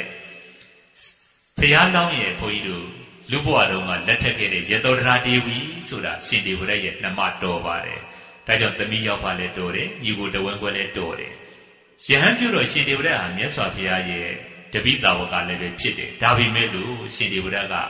လက်လာပါလိုချင်တယ်ဘုံကြီးခြင်းတယ်နာမည်ကြီးခြင်းတယ်ဒီတော့ဇာတတမင်းသားနဲ့ပေါင်းပြီးတော့ပထမဗိမိတာရာမင်းကြီးမြတ်စွာဘုရားရဲ့ကြောင်းတကာကြီးကိုလှုပ်ကြံတက်ဖြတ်တယ်နောက်ပိုင်းမှာ လေသမားတွေကိုလွတ်ပြီးတော့မြတ်စွာဘုရားကိုလှုပ်ကြံတယ်တက်ဖြတ်တယ်မအောင်မြင်ဘူးကေစကုတ်တော်မှာတက်ပြီးတော့ကြောက်တုံးနဲ့လှိမ့်ချတယ်မြတ်စွာဘုရားကိုလှုပ်ကြံတက်ဖြတ်တယ်မအောင်မြင်ဘူးနောက်ဆုံးဘုန်းကြီးတို့နာသာဂတိရှင်ကိုလွတ်ပြီးတော့မြတ်စွာဘုရားကိုလှုပ်ကြံတက်ဖြတ်တယ်မအောင်မြင်ပါဘူးနောက်ဆုံးမှာဘုန်းကြီးတို့အရှင်ဒေဝရဟာဘာလဲဆိုတော့မြတ်စွာဘုရားကရှင်ဒေဝရကသာကိုယ့်ပေါ်မှာဒါလောက်ကြီးယံသူလို့သဘောထားခဲ့ပြီမြတ်စွာဘုရားက ဝရကေဒေဝတတံမိစောရိအင်္ဂုလိမာလကေတဏပါလိယာဟုလေးစာတပ္ပထသမမာနတောတဲ့အဲ့တော့ရှင်ဒေဝရကဘဝတိုင်းဘဝတိုင်းရွဲကုန်တဲ့ဘဝတသိမ့်တန်ရွှေပွဲကြီးကိုသူမရတဲ့အတွက်ကြောင့်ဒေါသအာဂတာတွေနဲ့ယဉ်ညိုးတွေဖွဲပြီးတော့ဘဝတိုင်းဘဝတိုင်းယံတွေဖြစ်လာကြတာအဲ့တော့သားဖဖြစ်တဲ့ဘဝအထိသားဖြစ်တဲ့လူကိုရှင်ဒေဝရလောင်းဖြစ်တဲ့ရှင်ဘီရင်ကတတ်ဖြတ်ခဲ့တယ် ဖျားဖြစ်တော့လည်းပဲအလုံးကလားဗိမိတာရမင်းတို့ကောသလမင်းကြီးတို့အနာတပိန်တထေးတို့ဝိသခါတို့တို့ကလားကြည်ညိုတာရှင်ဒေဝရကတော့မြတ်စွာဘုရားပေါ်မှာလုံခြံတက်ဖြတ်တယ်တဲ့အဲ့တော့ရှင်ဒေဝရရဲ့ဝါရကတတွေးပင်နေတဲ့လက်ကိုတတွေးနဲ့ပြန်ဆေးတာဒီတဲ့ဆိုးတဲ့မစင်ကျင်ကြီးနဲ့ပြန်ဆေးတယ်လို့ကြာလေကြာလေပိုးပြီးတော့ညစ်ပတ်လေညစ်ပတ်လေဒါကအရှင်ဒေဝရရဲ့ဝါရ မြတ်စွာဘုရားကဘယ်လိုလုပ်ခဲ့တယ်လဲမြတ်စွာဘုရားကအရှင်ဒေဝရပုံမှာမေတ္တာတရားကရုဏာတရားနဲ့တုံ့ပြန်ခဲ့တယ်တဲ့အဲ့တော့ဘယ်လောက်ထိတုံ့ပြန်တယ်လဲဆိုတော့သားတော်ရာဟုလာလေးနဲ့အရှင်ဒေဝရပုံမှာမြတ်စွာဘုရားကစိတ်ထားတူမျှပါတယ်တဲ့ဒါအံ့ဩစရာကောင်းတဲ့အချက်ပေါ့ရှင်ဒေဝရကမြတ်စွာဘုရားပေါ်မှာလုံကျင်တက်ဖြတ်တဲ့ပုဂ္ဂိုလ်သားတော်ရာဟုလာလေးရဲ့မြတ်စွာဘုရားရှင်ရဲ့လူဘဝတုန်းကဖះမဖြစ်ခင်ကသားတော်ရင် အဲ့ဒီသားတော်ရင်ပေါ်နဲ့ကိုယ့်ပေါ်မှာလုံကျင်တက်ဖြတ်တဲ့ရှင်ဒေဝရပေါ်မှာမြတ်စွာဘုရားစိတ်ထားတူပါတယ်တဲ့ဒါအံ့ဩစရာကောင်းတဲ့အချက်ပဲအဲ့တော့စိတ်ထားတူတယ်ဆိုတာဘလို့များသိတတ်နေမလဲဒါလေးကိုဘုန်းကြီးတို့သိဖို့လိုအပ်တယ်မြတ်စွာဘုရားကရှင်ဒေဝရပေါ်မှာမေတ္တာမပြတ်ခဲ့ဘူးဒါလေးကိုဘာလို့ထောက်ပြီးတော့သိရမလဲဘုန်းကြီးတို့ရှစ်သားတော်ရာဟုလာလေးကိုမြတ်စွာဘုရားက နိဗ္ဗာန်ချမ်းသာကိုမျက်မှောက်ပြုအောင်အမွေတောင်းလိုက်လာတဲ့သားတော်ရာဟုလာလေးကိုကိုရင်ဝတ်ပေးခဲ့တယ်နောက်ပိုင်းရှင်ရာဟုလာလေးရဲ့တရားတွေကြိုးစားအားထုတ်လိုက်တာယဟန်ဖြစ်ပြီးတော့ဝါမရခင်ပဲယဟန်နာရှင်မြတ်ကြီးဖြစ်သွားခဲ့တယ်နိဗ္ဗာန်ချမ်းသာကိုခံစားသွားခဲ့ရတယ်အဲ့တော့မြတ်စွာဘုရားသားတော်ရာဟုလာကိုနိဗ္ဗာန်မျက်မှောက်ပြုအောင်လုပ်ပေးတော်မူခဲ့တယ်အရှင်ဒေဝရပေါ်မှာရောဘလို့သဘောရှိတယ်လေအရှင်ဒေဝရပေါ်မှာလည်းမြတ်စွာဘုရားကမေတ္တာကရုဏာပြည့်နဲ့လှုပ်ပေးခဲ့ပါတယ် အဲ့တော့ဘာလို့ထောက်ဆပြီးတော့သိတဲ့တယ်လဲဆိုတော့အရှင်ဒေဝရဟာဘုန်းကြီးတို့မြတ်စွာဘုရားပေါ်မှာ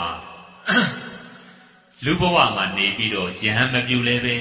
ရှင်ဒေဝရကမြတ်စွာဘုရားကိုယဉ်ညိုးတွေဖွဲ့ပြီးတော့တတ်မဲဖြက်မဲလုံးမှာပဲလုံးကျန်တဲ့ကိစ္စတွေလုံးမှာပဲ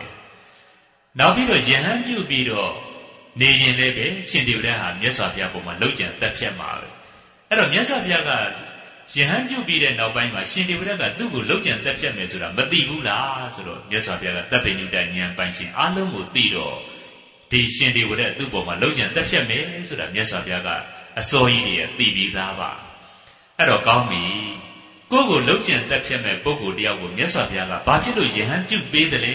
ဒီမိကွန်လေးမေးစရာရှိလာတယ်ဒီတော့အဖြေရပါလဲဆိုတော့မြတ်စွာဘုရားမေတ္တာကရုဏာကြီးမားလွန်းလို့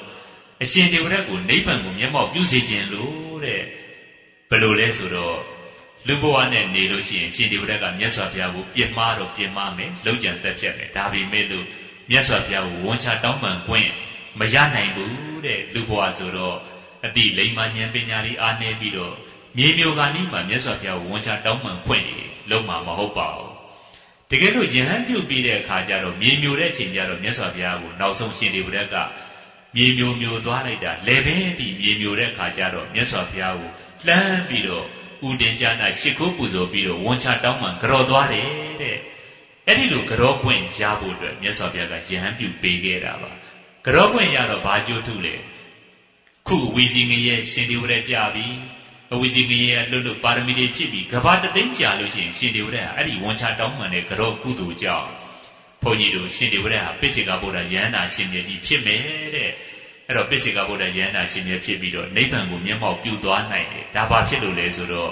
မြတ်စွာဘုရားကရှင်ဒီဝရအပေါ်မှာမေတ္တာကရုဏာကြီးမားစွာနဲ့ဝန်ချတောင်းပန်ကြောပွင့်ရအောင်ယဟန်ပြုပေးခဲ့တယ်ဒီလိုကြောပွင့်ရတဲ့အတွက်ရှင်ဒီဝရဟာနိဗ္ဗာန်ချမ်းသာအထိနောက်ဆုံးပိစိကဘုရားယန္တာအရှင်မြတ်ဖြစ်ပြီးတော့မျက်မှောက်ပြုရမယ် အဲ့တော့နိဗ္ဗာန်ချမ်းသာကိုမျက်မှောက်ပြုနိုင်အောင်လုပ်ပေးတယ်ဆိုတာဒါမြတ်စွာဘုရားရဲ့မေတ္တာကရုဏာကြီးမားလို့တဲ့ဘုန်းကြီးတို့ကိုယံသူကိုဆိုရင်ဘယ်လုပ်ပေးပါမလဲမြတ်စွာဘုရားကတော့ယံသူဖြစ်တဲ့ရှင်ဒီဝရတ်ကိုနောက်ဆုံးနိဗ္ဗာန်ရောက်ဖြစ်နိဗ္ဗာန်ချမ်းသာကိုမျက်မှောက်ပြုအောင်ဝန်ချတောင်းပန်ခွင့်ကြောခွင့်ရအောင်ယဟန်ပြုပေးခဲ့တာအဲ့ဒါမြတ်စွာဘုရားရဲ့ရှင်ရာဟုလာလေးအပေါ်မှာမြတ်စွာဘုရားစိတ်ထားတယ်လို့ပဲမြတ်စွာဘုရားရှင်ဒီဝရတ်ပေါ်မှာလည်းမေတ္တာကြီးမားတယ်ဆိုတဲ့သင်္ကေတပါ ဒါကြောင့်ဘုန်းကြီးတို့မြတ်စွာဘုရားရှင်ရဲ့ဝါဒကတတွေးပေနေတဲ့လက်ကိုဘုန်းကြီးတို့ရေစင်ကြီးနဲ့ဆေးကြောတယ်လို့ပဲရံမူတဲ့ကိုယ့်ကိုလုံခြံတက်ဖြစ်တဲ့ရှင်ဒီဝရက်ကိုနိဗ္ဗာန်တိရောက်အောင်ပို့ပေးတယ်ဆိုတာဒါမြတ်စွာဘုရားရှင်ရဲ့ဝါဒဒါကြောင့်ယနေ့ပုံညာကံမီယူဝတီဖွဲ့သူဖွဲ့သားတွေဟာအဲ့တော့ကိုယ့်ကိုယံလုတ်လာတဲ့ပုဂ္ဂိုလ်တောင်မှမြတ်စွာဘုရားဟာကြည်ပြူပြူခွင့်ပြုပေးတယ်မိမိတို့ကဘာလို့ခွင့်မလွတ်နိုင်ရမှာလဲငါတို့လည်းပဲမြတ်စွာဘုရားရှင်ရဲ့တာဝက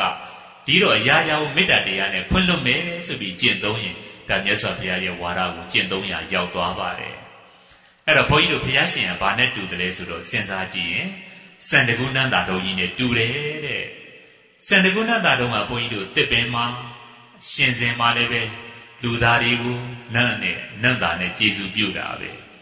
နောက်ပြီးတော့ဒီနတ်သားပင်ကြီးကိုခုတ်လဲလိုက်တယ်ခုတ်လဲလိုက်တဲ့ပုဂ္ဂိုလ်ကိုလည်း အမွေနတ်သားတွေနဲ့နတ်သားတော်ကြီးကကျေစုပြုနေတာပဲနောက်ဆုံးဘုန်းကြီးတို့ဒီစန္ဒကုဏ္ဍတာတော်ကြီးကိုမိရှို့ပြစ်လိုက်မိရှို့ပြစ်လိုက်တော့လည်းပဲမကျွန်းမချင်းမိသွေးမဖြစ်မချင်းမိရှို့တဲ့ပုဂ္ဂိုလ်စန္ဒကုဏ္ဍတာတော်ကြီးကအမွေနတ်သားတွေနဲ့ကျေစုပြုတယ်တဲ့ဒီလိုပဲမြတ်စွာဘုရားရှင်ဟာပြိဋိဘံမဆံမချင်းကိုယ့်ဘော်မှာယံလုံးတဲ့အရှင်ဒီဝတဲ့အပေါ်မှာယံမှုနဲ့မတုံ့ပြန်ဘဲနဲ့ဘုန်းကြီးတို့တတွေးပင်နေတဲ့လက်ကိုရေစင်ကြီးနဲ့ဆေးကြောသလိုမေတ္တာကရုဏာနဲ့တုံ့ပြန်ခဲ့တဲ့အတွက်ရှင်ဒီဝတဲ့လည်းပဲ နောက်တစ်ချိန်သောကာလမှာဒီဘဝမှာနိဗ္ဗာန်မျက်မှောက်မပြုပေမဲ့နောက်တစ်ချိန်သောကာလမှာနိဗ္ဗာန်ကိုမျက်မှောက်ပြုမယ်ဆိုတာဒါမေတ္တာဆွမ်းအားရဲ့အကျိုးတွေပါကဲအားလုံးစောစောကဗျာလေးကိုတစ်ခေါက်ပြန်ဆိုရအောင်တတွေပေယာရေဖြင့်သာမှန်စွာစေမစင်ကြယ်သည်တတွေဖြင့်သာ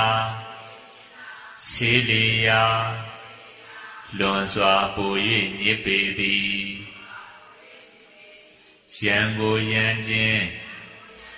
တုံ့ပြန်လျင်ငြိမ်းခြင်းဘယ်ကမရှိပြီရန်ကိုရန်ခြင်းမတုံလျင်ငြိမ်းခြင်းချမ်းသာပြေဝသည်ကိုကိုကိုစဉ်းစားကြည့်လိုက်ငါဘု து ပေါ်မြန်ရန်မျိုးတွေဖွဲ့နေတယ်လေ ဘု து ပေါ်မြန်ဒေါသအာကတာတွေဖြစ်နေတယ်လေဖြစ်နေလို့ရှိရင်ဘုန်းကြီးတို့ငါဘု து လမ်းစဉ်လိုက်နေတယ်ဒါဆိုရင်ရှင်ဒီဝရရဲ့လမ်းစဉ်လိုက်နေပြီဒီဒေါသအာကတယဉ်ညိုးတွေကငါဘဝအတွက်အပေရောက်ကြောင်းဖြစ်သွားတယ်အရှင်ဒီဝရဟာဒေါသအာကတယဉ်ညိုးတွေကိုဖွဲ့တဲ့အတွက်အဝိဇ္ဇင်ငရဲရောက်သွားပြီရှင်ဒီဝရရဲ့လမ်းစီဟာအဝိဇ္ဇင်ငရဲမှာလမ်းဆုံးနေတယ်ဘုရားရှင်ကိုရောမြတ်ကကိုယ့်ဘောလုံးကြံသက်ဖြစ်တဲ့ရှင်ဒီဝရကိုပဲနိဗ္ဗာန်မျက်မှောက်ပြုအောင် ပြီးခံပြီးတော့မေတ္တာတရားနဲ့ခွင့်လွှတ်တော်မူခဲ့တယ်ကိုကြီးတော်မူခဲ့တယ်စန္ဒကူနန္တာတော်လိုကိုယ့်ကိုမီးရှို့တဲ့ပုဂ္ဂိုလ်ကိုမကြုံမချင်းမိသွေးမဖြစ်မချင်းနတ်တာနဲ့ကျေးဇူးပြုတယ်လို့မြတ်စွာဘုရားကပေးနေတဲ့လက်ကိုတရွေပေးနေတာကိုရည်စင်ရည်နဲ့စီကြောပြီးတော့တန့်စင်အောင်လှုပ်သွားခဲ့တယ်မြတ်စွာဘုရားကိုကြောင်းပြုပြီးတော့ရှင်တေဝရက်ကိုယ်တိုင်ချမ်းသာပွင့်ရအောင်ပါအဲ့တော့ငါတို့ကမြတ်စွာဘုရားရှင်ရဲ့တပိတာဝကဖြစ်နေတော့ဒီလိုဒေါသအာကတထားတာမသိတော့ပါလားဒါမျိုးတွေးပြီးတော့ ဒေါသအာကတတွေရှိနေခဲ့လို့ရှိရင်လည်းပဲဘုရားရှင်ကျင့်သုံးတယ်လို့မိမိတို့ကျင့်သုံးနိုင်ရမယ်ပေါ့ဒါဆိုလို့ရှိရင်ဘုန်းကြီးတို့တရွေးပေနေတဲ့လက်ကိုရေစင်ကြီးနဲ့ခြေကြောရာရောက်သွားတယ်ရန်ကိုမေတ္တာနဲ့တုံ့ပြန်ရာရောက်သွားတဲ့အတွက်ဒီဘဝမှာလည်းပဲငြိမ်းချမ်းတန်တရာမှာလည်းပဲတွေ့တိုင်းတွေ့တိုင်းရန်သူဖြစ်ပါစေမိတ်ဆွေတွေပြန်ဖြစ်ပြီးတော့ပါရမီဖြစ်ပတ်တွေဖြစ်သွားနိုင်ပါတယ်တဲ့ဒါလေးတွေကိုဘုန်းကြီးကကျင့်သုံးစေခြင်းလို့မေတ္တာရည်ဖြင့်ခြေကြောပါဆိုတဲ့ဒီတရားကိုဟောပေးခြင်းဖြစ်တယ်ပေါ့ ဘုန်းကြီးတို့ဒီတရားကိုသူတော်ကောင်းဆက်ဆက်ကျင့်သုံးခဲ့ကြပါတယ်အဲ့တော့လွန်ခဲ့တဲ့နှစ်60လောက်ကဘုန်းကြီးတို့မြန်မာပြည်မှာကျင့်သုံးခဲ့တဲ့အကြောင်းလေးကိုဘုန်းကြီးနည်းနည်းလေးပြန်ပြောပြခြင်းသေးတယ်အဲ့တော့ဒီကျင့်သုံးခဲ့တဲ့ပုဂ္ဂိုလ်ကချားမဟုတ်ပါဘူးဘိုလ်ချုပ်အောင်ဆန်းရဲ့ကြောဒေါခင်ကြီးကျင့်သုံးခဲ့တဲ့လမ်းစဉ်လေးဘုန်းကြီးနည်းနည်းလေးပြောပြပေးဦးမယ်ဘုန်းကြီးတို့1948ခုဇူလိုင်19ရက်ကဗိုလ်ချုပ်အောင်ဆန်းနဲ့တကောအာဇာနည်ကြီးတွေကိုဂလုံဦးစောကနေပြီးတော့လှုပ်ကြံခိုင်းလိုက်တဲ့အတွက် အားလုံးသေသွားကြတယ်အဲ့ဒီနေ့ကိုအာဇာနည်နေ့ဆိုပြီးတော့သတ်မှတ်ခဲ့ကြတယ်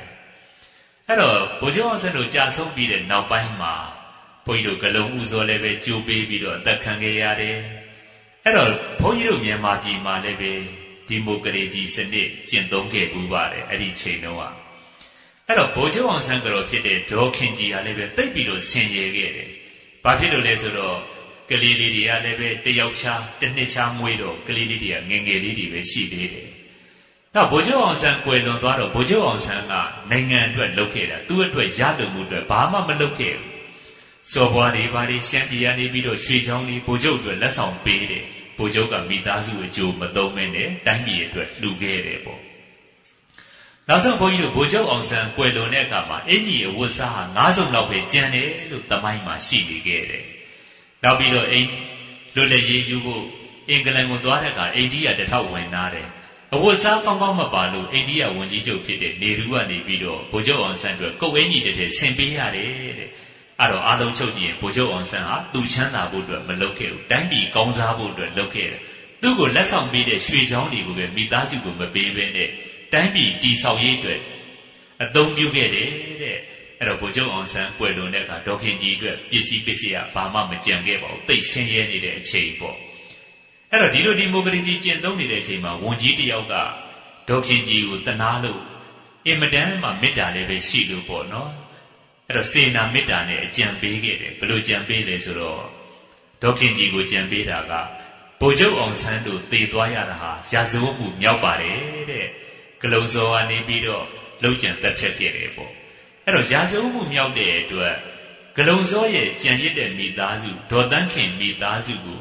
တရားမှလမ်းကြောင်းအရာတရားဆွဲပြီးတော့မျက်နာကြီးတောင်းရင်ရနိုင်ပါတယ်တဲ့ကျမယောက်ျားဗိုလ်ချုပ်များတက်ရှိခဲ့ရင်ဒီလိုဒီလိုဝင်ငွေရနိုင်ပါတယ်အဲ့တော့ဒီဝင်ငွေတွေကဗိုလ်ချုပ်ွယ်လွန်သွားတဲ့အတွက်ဆုံးရှုံးသွားပါပြီဒါကြောင့်ဒီလိုမျက်နာကြီးရချင်ပါတယ်ဆိုပြီးတော့တရားရုံးမှာတရားဆွဲပြီးတော့နင့်နာကြီးတောင်းရင် အဲ့တော့ဂလုံစိုးရဲ့ဇနီးဒေါ်သန်းခင်မိသားစုထံကငွေကြီးရနိုင်ပါတယ်ဆိုပြီးတော့ဝန်ကြီးတယောက်ကဒေါ်ခင်ကြီးကိုစေနာမေတ္တာနဲ့အကြံပေးခဲ့ဘူးတဲ့ဘုန်းကြီးတို့အာဇာနည်ခေါင်းဆောင်တယောက်ရဲ့အမျိုးသမီးတယောက်ကဆိုရင်ဂလုံစိုးမိသားစုကိုတရားဆွဲလိုက်တဲ့အတွက်ငွေတသိန်းကျော်ကြီးရခဲ့တယ်ပေါ့အဲ့ဒီခေတ်တုန်းကအဲ့ဒီခေတ်ကငွေတသိန်းဟာလွန်ခဲ့တဲ့နှစ်60ကျော်လောက်ကဆိုတော့ဘလောက်တန်ကြီးရှိမလဲဆိုရင်ဘုန်းကြီးတို့ အဲ့ဒီခေတ်ကတိုက်ဝဲမယ်ဝင်းချံဝဲမယ်ကားဝဲမယ်ဒါတောင်မှ9000လောက်ပိုသေးတယ်တဲ့ငွေတသိန်းမကုန်ဘူးတဲ့အဲ့ဒီလောက်တန်ဖိုးကြီးတာအဲ့တော့ဒေါခင်ကြီးအနေနဲ့ဒီငွေတသိန်းရမယ်ဆိုရင်သူ့မိသားစုအတွက်တိတ်ပြီးတော့အဆင်ပြေသွားမှာဒါပေမဲ့ဒေါခင်ကြီးကဘယ်လိုပြောခဲ့တယ်လဲဆိုတော့ဂလုံစောရဲ့မျိုးသမီးဒေါ်တန်းခင်ပေါ့သူလည်းပဲမုတ်ဆိုးမပါတဲ့ကျမလည်းပဲမုတ်ဆိုးမပဲအဲ့တော့သူမုတ်ဆိုးမကမျက်နှာမရှိတဲ့မုတ်ဆိုးမဂုံတိတ်ခါမဲ့တဲ့မုတ်ဆိုးမဖြစ်ရပါတယ် ကျမမုတ်ဆိုးမကတော့ဂုံတိတ်ခါရှိတဲ့မုတ်ဆိုးမဖြစ်ရပါတယ်တဲ့ဒါကြောင့်ဒေါ်တန်းခင်မိသားစုကိုတရားလည်းမဆွဲလို့ပါဘူးနင့်နာကြီးလည်းမတောင်းလို့ပါဘူးဆိုပြီးတော့ဘိုးချုပ်အောင်ဆန်းရဲ့ဇနီးဖြစ်တဲ့ဒေါ်ခင်ကြီးကဒီလိုမျိုးလေးပြောခဲ့တယ်ပေါ့အဲ့တော့ဘုန်းကြီးတို့ဒီလိုပြောခဲ့တဲ့စကားဟာဒေါ်ခင်ကြီးကပြန်ပြောလို့သိရတာမဟုတ်ပါဘူးအဲ့တော့ဂလုံစောရဲ့သမီးဖြစ်တဲ့ဒေါ်ဘေဘီစောကနေပြီးတော့ပြန်ပြောလို့စာရေးဆရာတယောက်ကသိရတာအဲ့ဒီစာရေးဆရာတယောက်ကပြန်ရေးထားတဲ့အတွက် ဒီအကြောင်းတွေဘုန်းကြီးတို့ဖတ်ရတာအဲ့တော့ဒေါခင်ကြီးကကိုယ့်ရဲ့မှန်ကန်တဲ့ဂုံတရင်ဖြစ်ပြီမဲ့လို့လူတွေတိုင်းမကြွားဘူးဆိုတာဒါပေါ်လွင်တယ်နောက်ပြီးတော့ဘေဘီစောရဲ့ဂလုံးစောရဲ့သမီးဖြစ်တဲ့ဒေါ်ဘေဘီစောတို့ဟာဒေါခင်ကြီးတို့မိသားစုကိုတိတ်ပြီးတော့ကျေးဇူးတင်တယ်ဘယ်လိုလဲဆိုတော့သူတို့မိသားစုမှာအာဇာနည်နဲ့ရောက်တိုင်းမျက်နှာငယ်ရတယ်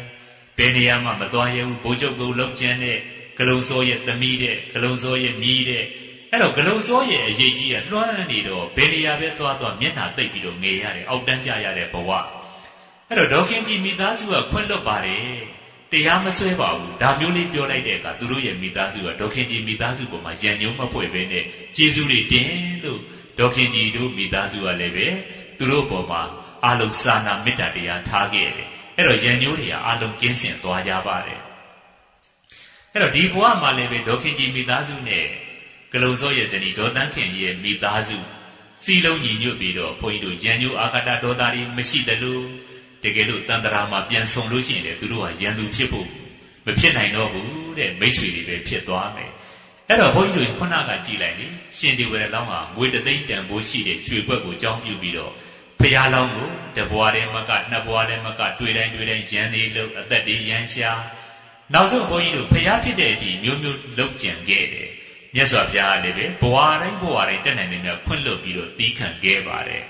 အဲ့တော့ဒေါခင်ကြီးကျင့်သုံးတဲ့ဝါဒဖရာရှင်ကျင့်သုံးတဲ့ဝါဒနဲ့အတူတူပါပဲရှိနေတဲ့ရန်ညိုးတွေကိုမေတ္တာတရားနဲ့ဖြေဖြောက်ပြီးတော့ကိုချင်းစာတရားနဲ့ဖြေဖြောက်ပြီးတော့ဒီလိုခွင့်လွတ်သွားတယ်ဆိုတော့မိသားစုနဲ့ဆိုတော့ဒီဘဝလည်းပဲငြိမ်းချမ်းတန်တရာမှာသူတို့တွေ့ပြန်ရင်လည်းပဲဒေါသအာဃာတရန်ညိုးတွေလုံးဝကင်းစင်သွားနိုင်တယ်တဲ့ဒါလေးဟာဘုန်းကြီးတို့မှတ်သားစရာကောင်းတဲ့အချက်ကလေးတွေပါ ဒါကြောင့်ဒေါခင်ကြီးကျင့်သုံးခဲ့တဲ့ဝါဒဟာစဉ်းစားကြည့်ရင်ပေနေတဲ့တွေကိုရေစင်ကြီးအင်းနဲ့ခြေကြောခဲ့တာပါဒါကြောင့်တန့်ရှင်းစင်ကြယ်သွားပါတယ်ပင်နေတဲ့တပည့်ကိုဒေါခင်ကြီးကတတွေးနဲ့ပြန်ပြီးတော့မစေပါဘူးအဲ့တော့ဂလုံစောရဲ့မိသားစုကိုဒုက္ခရောက်အောင်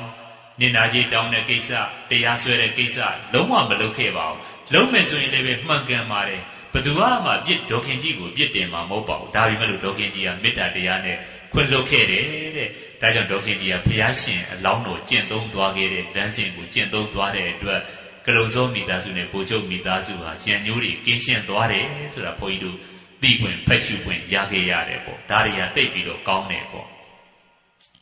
နောက်ဘုန်းကြီးဒေါခင်ကြီးစိတ်တယ်လေးနည်းနည်းပြောပြအောင်မယ်ဘုန်းကြီးတို့စာပေမှာလာတဲ့ပုံကိုလေးမျိုးတွေက၃မျိုးလောက်ကိုဘုန်းကြီးနည်းနည်းလေးပြောပြပေးအောင်မယ်နံပါတ်၁ကပါပိဿပုဂ္ဂိုလ်တဲ့အလိုကြီးတဲ့ပုဂ္ဂိုလ် ရုံမာတဲ့အလိုရှိတဲ့ပုဂ္ဂိုလ်ပေါ့ပါပိဿပုဂ္ဂိုလ်ဆိုတာဒုတိယကမဟိစ္ဆပုဂ္ဂိုလ်လောဘရမကြီးတဲ့ပုဂ္ဂိုလ်တဲ့နံပါတ်3ကအပိစ္ဆပုဂ္ဂိုလ်အလိုရမနှဲပါတဲ့ပုဂ္ဂိုလ်ဆိုပြီးတော့ဒီပုဂ္ဂိုလ်၃မျိုးကြောင့်ဘုန်းကြီးပြောမယ်ပေါ့အဲ့တော့ပါပိစ္ဆရုံမာတဲ့အလိုဆိုရှိတဲ့ပုဂ္ဂိုလ်ဆိုတာဘယ်လိုပုဂ္ဂိုလ်မျိုးကိုပြောတာလဲဆိုတော့ယဟန်နေဆိုလို့ရှိရင်ဘုန်းကြီးတို့ကိုမှမရှိတဲ့ဂုံတွေကိုထုတ်ပြီးတော့ကြွားတယ် အဲ့တော့ကိုမှမရှိတာတွေကိုရှိဟန်ဆောင်ပြီးတော့ကြွားတယ်ဝါတယ်သူများထင်ကြည့်အောင်လုပ်တယ်နောက်ပြီးတော့လှူတဲ့တန်းတဲ့အခါမှာဘုန်းကြီးတို့ရားတဲ့ရထိုက်တာတွေပို့ပြီးတော့လိုချင်တယ်လှူတိုင်းယူတယ်အတိုင်းရှိကိုမသိဘူးမလိုလိုလိုလှူလို့ရှိရင်ယူတော့တာပဲအဲ့တော့မရှိတဲ့ဂုံကိုလည်းပဲကြွားတယ်လှူတိုင်းလည်းပဲလိုအပ်တာမလိုအပ်တာမထောက်ထားပဲနဲ့လှူတိုင်းယူတယ်ဒါဆိုလို့ရှိရင်မဟိတ်ဘုန်းကြီးတို့ပါပိဿရုံမာတဲ့လိုရှိတဲ့ပုဂ္ဂိုလ်တဲ့ နောက်ပြီးတော့မဟိစ္ဆာပုဂ္ဂိုလ်အလိုကြီးတဲ့ပုဂ္ဂိုလ်အလိုရမကြီးတဲ့ပုဂ္ဂိုလ်ဒီပုဂ္ဂိုလ်ကဘယ်လိုလဲဆိုတော့ तू ကမဟုတ်တဲ့ဂုံကိုတော့ထုတ်မကြွားဘူးဒါပေမဲ့ရှိပြီးသားဂုံတွေကိုနေရာတကာထုတ်ပြီးတော့ကြွားတယ်တဲ့လိုအပ်သည်ဖြစ်စီမလိုအပ်သည်ဖြစ်စီသူ့မှာဘလို့ဂုံရှိတယ်ဘလို့လုပ်ခဲ့တယ်ဒါတွေကိုအချိန်မရွေးထုတ်ကြွားနေတယ်နောက်တစ်ချက်ကလှူတိုင်းယူတယ်တဲ့လှူလို့ရှိရင်ကိုလိုအပ်သည်ဖြစ်စီမလိုအပ်သည်ဖြစ်စီမလိုအပ်ရင်မယူဘဲနေရပါဒါပေမဲ့လှူရင်ယူတော့တာပဲ ဒီလိုပုဂ္ဂိုလ်မျိုးကမဟိစ္ဆလောဘလိုရမကြီးတဲ့ပုဂ္ဂိုလ်တဲ့အဲ့တော့အပိစ္ဆပုဂ္ဂိုလ်ကြတော့ဘာလဲဆိုတော့ကိုယ်ရှိနေတဲ့ဂုံကိုပဲရှုပ်ရှုပ်ဝက်ဝက်နဲ့နေတယ်တွေ့တိုင်းထုတ်မပြောဘူးအရေးကြောင်းရှိမှထုတ်ပြောတယ်လှူတိုင်းလည်းပဲမယူဘူးလိုအပ်မှပဲယူတယ်လိုအပ်တဲ့ပစ္စည်းကိုပဲယူတယ်လှူတိုင်းမယူဘူးတဲ့အဲ့တော့ဒီလိုပုဂ္ဂိုလ်ကအပိစ္ဆအလိုနှဲပါတဲ့ပုဂ္ဂိုလ်တဲ့ဘုန်းကြီးတို့နိဗ္ဗာန်နဲ့နီးတယ်ဆိုတာအပိစ္ဆအလိုနှဲပါတဲ့ပုဂ္ဂိုလ်တွေယဟန်တော်တွေကသာ နိဗ္ဗာန်ကိုမျက်မှောက်ပြုသွားနိုင်ပါတယ်ပါပိစ္ဆယုံမာတဲ့လူဆိုးရှိတဲ့ပုဂ္ဂိုလ်မဟိစ္ဆလူကြီးတဲ့ပုဂ္ဂိုလ်ဒီပုဂ္ဂိုလ်တွေကတော့နိဗ္ဗာန်နဲ့ဝေးနေတတ်ပါတယ်တဲ့ခုဒေါခင်ကြီးကိုသုံးသက်ကြည့်လိုက်ပေါ့ဒီပုဂ္ဂိုလ်သုံးယောက်ထဲမှာဒေါခင်ကြီးကသူ့မှာရှိနေတဲ့ဂုဏ်တွေကိုသူကနေပြီးတော့ဂလုံးစုံမိသားစုပေါ်မှာဖွင့်လုပ်ခဲ့တာတွေနားလဲခဲ့တာတွေတရားမဆွဲခဲ့တာတွေဒါတွေမှန်ပါရဲ့ဒေါခင်ကြီးကထုတ်မပြောခဲ့ဘူးဒီတော့ဒေါခင်ကြီးကဘုန်းကြီးတို့အပိစ္ဆလိုနေတဲ့ပုဂ္ဂိုလ်လို့ဒီလိုသုံးသက်လို့ရပါတယ် အဲ့တော့ဒီလိုပုဂ္ဂိုလ်မျိုးတွေကဘုရားရှင်ရဲ့လမ်းစဉ်လိုက်နေတော့ဘုရားရှင်နိဗ္ဗာန်မျက်မှောက်ပြုတယ်လို့ဒီလိုပုဂ္ဂိုလ်တွေကလောဘတွေတဖြည်းဖြည်းနေပြီးတော့နိဗ္ဗာန်ထိမျက်မှောက်ပြုနိုင်ပါတယ်တဲ့ကဲဒါလေးတွေကိုကျင့်သုံးစေခြင်းလို့ဘုန်းကြီးကမေတ္တာရည်ဖြင့်စေကြောပါဆိုတဲ့တရားကိုယနေ့ပုံညကာမီယူဝတိဖွဲ့ကိုဓမ္မလက်ဆောင်ပေးပါတယ်အလုံးသောဖွဲ့သူဖွဲ့သားတွေကဒီတရားတော်ကိုနာယူပြီးတော့မိမိတို့ကိုယ်ကိုမိမိတို့ရှင်ဒီဝရရဲ့လမ်းစဉ်မလိုက်ဘဲနဲ့ ဒေါသအာကတာတွေကိုယ်ပေါ်မှာတုံ့ပြန်လာရင်ဆဲရည်လာရင်တတွေးပေနေတဲ့လက်ကိုရေစင်ကြီးနဲ့ဆေးကြောတယ်လို့မေတ္တာတရားနဲ့ဒေါခင်ကြီးတို့လိုဖရာလောင်းစားတဲ့သူတော်ကောင်းတွေလိုတုံ့ပြန်နိုင်ကြပါစေဒီနည်းအားဖြင့်ကုသိုလ်ပါရမီတွေတဖြည်းဖြည်းရင့်တန်ပြီးနောက်ဆုံးမှာမဉ္ဇဉ်ပူဉ္ဇဉ်ဖြင့်နိဗ္ဗာန်ချမ်းသာကိုကိုစီကိုငါလင်းမြန်စွာမျက်မှောက်ပြုနိုင်ကြပါစေကုန်တည်း